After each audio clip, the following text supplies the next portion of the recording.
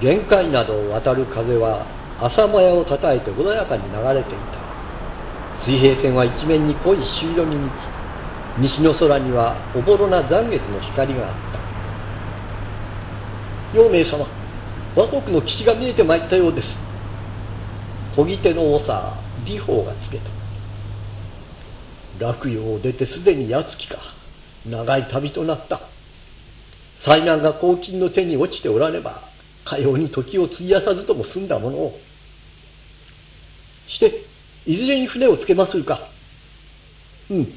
あの右手に見える岬を回るとその陰に松露宮に至る河口があるはずじゃ。絵図を手に陽明が指し寿し船は滑るように湾内に入っていく。大小の島を浮かべた湾内は湖面のように穏やかで朝日を映す金色のイラカとなって船を取り巻いた。これが倭国なのか。美しい国じゃ。まことに美しい国じゃ。陽明はへさきに立ったまま幾度もつぶやいた。陽明様左舷に和の船が近づいております。あれは南船ではないか。近づいて確かめよう。李鵬は頬を下ろさせ傾いたまま漂う黒い魚臭に向かってこぎ寄せるよう命じた。間近になった南船には鮮血に染まって倒れ伏す4人の姿があった。おおなんというむごさ。一行の口から歓声が漏れた。待てまだ息があるのでは。原則から見下ろしていた老医師春麗が声を上げた。李鵬らによって戦場に引き上げられたのは豊頼の号泣に倒され破線に乗せて流された石子と末路の三人の兵たちであった。この装束は王族の陛下英使かと思われる。もし末路に何事か異変が起こったとすればこの者らから引き出さねばならぬ。後を限り手を尽くしてくれ。陽明の言葉に4人の傷を改め脈を見ていた春麗がわずかに首を横に振った。いかんながら3人はすでに鍛えております。しかし石子の肩口に立つ矢に丸を潜めつつ春麗が続けた。この者はかすかながらまだ息があります。まずこの矢を取り除く石灰術を行ってみましょう。牢を設けた船内の一宮に石子が横たえられると春麗は傍らの戸願に命じ小刀鉄ごて紐布面などを気丈に整えさせた。戸願金銀貨と三嫌いを煎じよ。真仏さんは二方用いねばなるまい。戸願は炉の火星を弱め布袋に入れた薬草を塔の器で煎じ始めた。部屋はたちまち薬湯の湯気に満たされていた。ついで戸願は真仏さんを溶かした酒を麺に浸して石子の口に何度も注ぎ込みさらに傷口にも染み込ませた。動かぬようしっかりと押さえておれ。春麗は小刀をつかむと戸願に強く押さえられている石子の肩口を一気に切り開いた紫色の濁った血液がにじみ出た。春麗は石子の肩に深く食い込んだ矢を渾身の力で引き抜こうと試みた。支えきれず戸願がよろめくほど春麗は凄まじい力でそれを繰り返した。腹の底から言葉知る春麗の叫びとともに荒削りの太い矢が先端の矢尻ごとを石子の肩口から抜け鮮血が吹き上げた。春麗は頭から血しぶきを浴びたままゆっくりと焼け鉄ごてを傷口に押し付けた。石子は鋭いうめき声を上げて大きくのけぞった。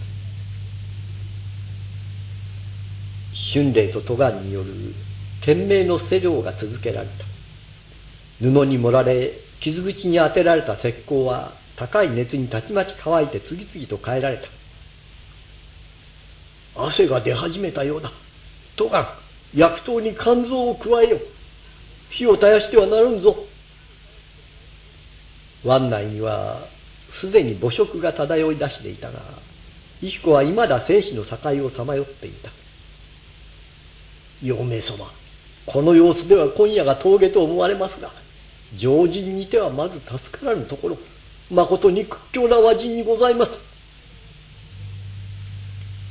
石子の意識がようやく回復し始めたのは東の稜線がしだみかける頃であった。竹早と夕姫の探索は続けられていたがいまだに二人の消息は知れなかった。その朝眠れぬ二夜を過ごした玄章のもとに物見の兵が駆け込んできた。落葉より死者の船がただいま松呂川に入ったとのことにございます。何？官よりの使いとな？玄章は血走った目を見開いて叫んだ。そればかりか死者の一行は深手を追われた石工殿を伴っておられます。なんとして竹早たちは咳き込んで取る玄章に物見の兵は身をすくませおずおずと答えた。これは石子様からのご伝言でございますが。探索に向かった石子と兵士らは南国の残党に襲われ兵は戦死。石子自身も深手を負いその間に竹部屋という姫が彼らの手によって連れ去られたことを告げた。南国の八つ原に連れ去られるとは何というして石子は何故官の使者たちと。よい、事の次第は我が尋ねよう。まずは官の使者たちを迎える支度を急がねばなるまい。宴じゃ、急ぎ宴の用意をせい。明け方の松露宮は慌ただしい雰囲気に満たされた。玄章は香炉に立つと日輪の神殿を飲み込む広大な樹海の彼方に目をやった。それは糸国の方角であり、そしてその向こうには豊かな入り江を持つかつての名国があった。イルメはおらぬか。イルメを呼べ。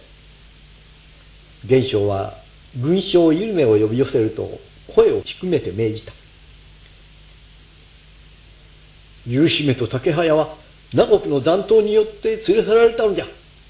かの者どもは今もセフリの山中に潜んでおるというが二人を盾に反逆を企てるに違いない。糸の国長にも使いをやって気奴らが動き出す前に二人を取り戻してまいれ。無言で気配するとイルメはたちまち部屋を走り出た。